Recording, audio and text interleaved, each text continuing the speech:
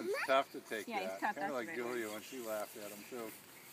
All right, I That Packer, he can't hurt that anybody. Oh, look at that.